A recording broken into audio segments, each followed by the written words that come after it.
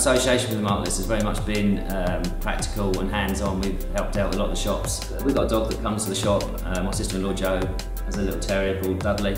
A good idea to theme our dog on Dudley and perhaps bring in the DIY side of it. So Dudley's got a, nice pair of uh, overalls on and he's going to hopefully look uh, very good in his spot in Brighton and encourage other DIY, not necessarily pets, but DIY adults to come and enjoy our shop.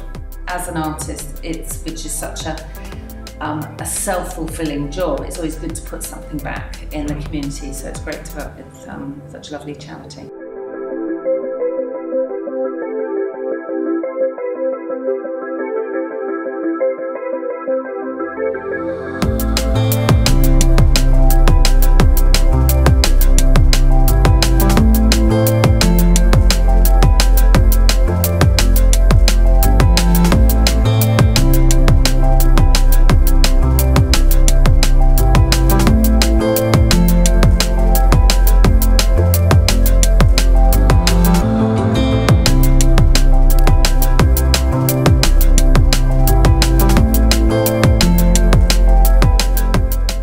Always been a supporter at the Martlets for many, many years. This particular snow dog has been painted by artist Louise Dear and I've loved her work for many years. I love the way she uses flowers and faces and colours.